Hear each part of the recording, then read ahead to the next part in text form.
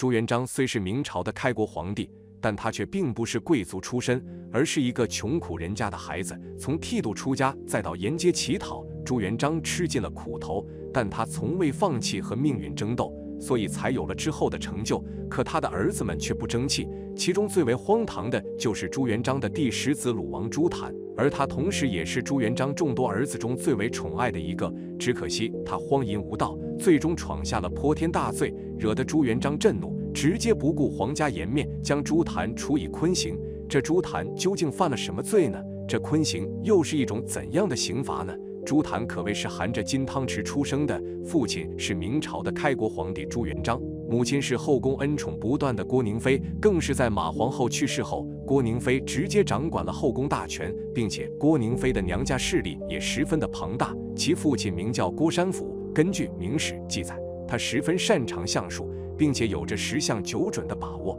所以，当郭山甫遇见还是一个平凡红巾军的朱元璋时，就从他的面相看出了这个人日后肯定不凡，必定可以富甲一方，位高权重。正因为如此，郭山甫决定让自己两个儿子前去追随朱元璋。在朱元璋带领着军队大杀四方时，郭山甫的两个儿子没少出力，更是在一次次的战役中立下了不少的汗马功劳。就连郭山甫的女儿也嫁给了朱元璋，也就是后来宠冠后宫的宁妃。可以说，郭山甫的这一步棋走得十分妙不可言。他们一家都成为了明朝的开国功臣，并且因为从最一开始积累下的情谊，朱元璋十分信任郭家。郭山甫被追封为迎国公，其二子郭兴被封为巩昌侯，其四子郭英被封为武定侯，一家人都成为了权贵中的权贵，一辈子都有享不尽的荣华富贵了。而当郭宁飞生下朱元璋的第十子朱谭后，更是奖赏不断，普天同庆，并且在朱谭出生不到两个月就被封为鲁王。当时的朱谭是所有封王中年龄最小的一个，册封时还是被人抱着给朱元璋行礼的。值得一提的是，这样的特权还是朱元璋亲批的，他还因此设立了宝宝一职，专门负责抱着年幼亲王行礼。幼时的朱谭乖巧听话，天资聪颖，十分的讨人喜欢。朱元璋更是没事都会抱着小朱谭在怀中逗弄，享受着天伦之乐。渐渐大了点的朱谭开始学习知识，他不骄不躁。勤奋好学，不管教他的老师传授给他怎样的学问，朱谭都可以熟记于心，并且还能举一反三。最重要的是，朱谭极为谦逊的优良品行，他从不因为自己贵为皇子就去欺压他人，并且受到别人夸奖时也从不狂妄自大，这让朱元璋十分的欣赏和看重。郭宁妃也因为自己有这样的一个儿子而感到骄傲和沾沾自喜，并且还在心中暗暗盘算着他们家势力庞大。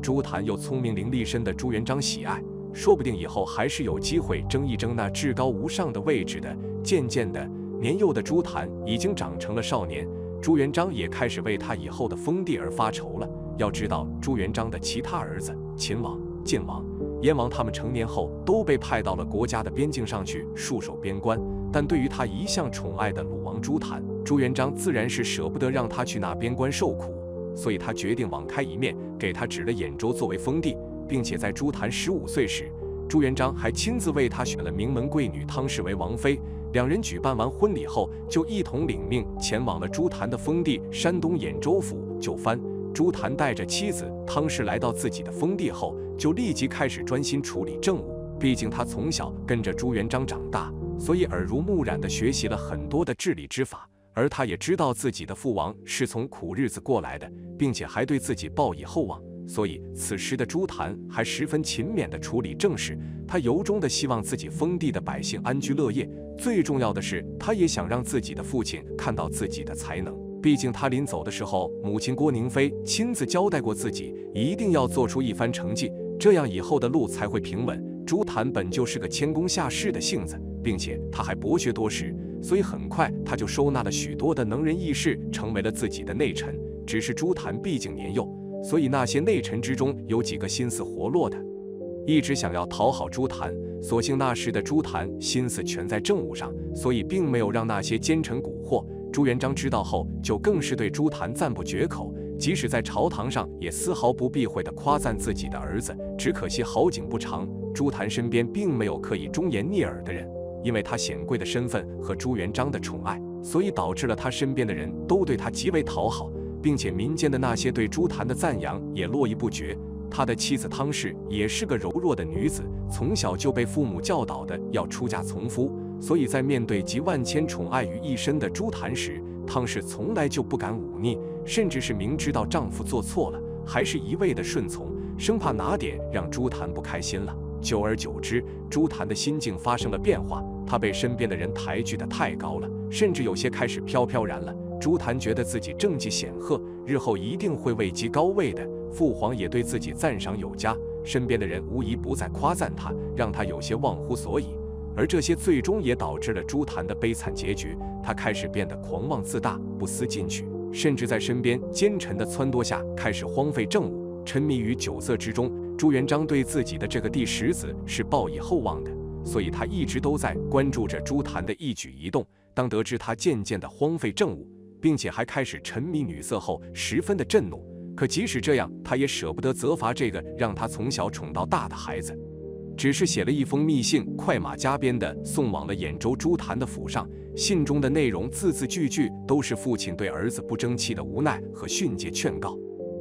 虽然都是责罚的语句。可里面也包含了朱元璋对自己这个儿子浓浓的爱意，只可惜此时的朱檀已经被身边的那些奸臣哄骗的团团转了。所以当他看到父亲的来信后，并不觉得害怕，他甚至从信中看到了朱元璋山高皇帝远的无奈。所以朱檀并准备收敛，可为了不让父亲知道自己的所作所为，他将朱元璋在自己府上安插的眼线全部除掉了。至此，朱檀算是彻底的放飞了自我。朱元璋也十分的无奈。他想狠狠地罚他，却又舍不得，并且如今的朱檀也不是这样的罪名可以轻易处罚的。朱檀每日都过得纸醉金迷，身边奸臣环绕，好听话一箩筐一箩筐地说给朱檀听。他的妻子汤氏也十分顺从自己的丈夫，即使他纳了一个又一个的美妾，汤氏也从来没有反驳过。偶然的一次机会。朱檀从身边的一位老嬷嬷口中得知，自己的母亲郭宁妃在生他之前，其实已经生了好几个孩子了，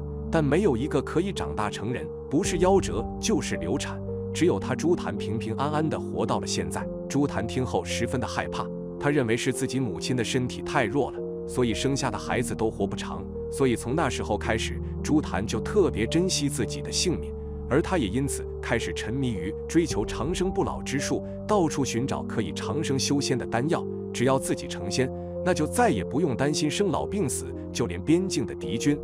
也可以在自己弹指之间灰飞烟灭。想想都觉得快哉！身边的奸臣得知朱檀的想法后，开始自发的寻找那些可以炼丹的道士，为朱檀炼制长生不老之药。可那些道士连医术都不懂，如何能制药呢？所以那些丹药并没有什么用处，连强身健体的效果都达不到。但朱檀已经沉迷进去，根本就丧失了判断的能力。就连他的王妃汤氏也一样迷恋上了长生之道。那些神棍倒是只想着如何忽悠着朱檀给他们金钱，根本就不顾朱檀夫妇的死活。那些丹药里面都含有过量的金属性毒素，长期服用会导致剧烈头痛、头脑不清醒的情况。朱檀见自己的身体越吃越虚，还时常头痛，就勃然大怒，怒骂着那些道士都是一群废材，更是在一气之下斩了好几个炼丹的道士。而这时候，有个道士为了活命，急忙说道。可以用九十九个童男命根子为药引，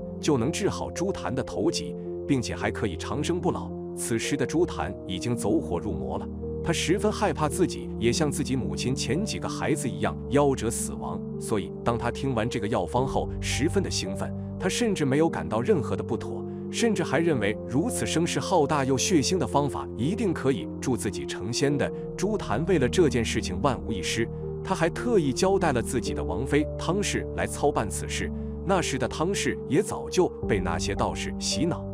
她和自己的丈夫朱檀一样沉迷于长生丹药，丝毫没有觉得这件事情残忍。她甚至用了雷霆手段，逼迫百姓们将他们的儿子交了出来。很快，九十九个童男的命根子就被炼丹入药。朱檀和汤氏抱着虔诚的态度，都尽数服下，根本丝毫就不在乎那些童男的死活。两人就像个怪物一样，满心满脑的都是修仙长生，可纸终究是包不住火的。这件事情很快就造成了民怨，并捅到了朱元璋跟前。朱元璋听后直接拍桌大怒，他怎么也想不到自己最疼爱的儿子会做出这样荒淫无道的事情。为了给那些被残害的百姓一个交代，朱元璋决定大义灭亲，将朱檀和他府上的所有人都绑到了皇宫。可他却始终下不去手，杀了自己的亲儿子。所以朱元璋就直接将朱檀府上的所有奸臣和道士都斩首示众，并直接处死了无法劝诫自己丈夫，并和他一起荒唐服用仙丹的王妃汤氏。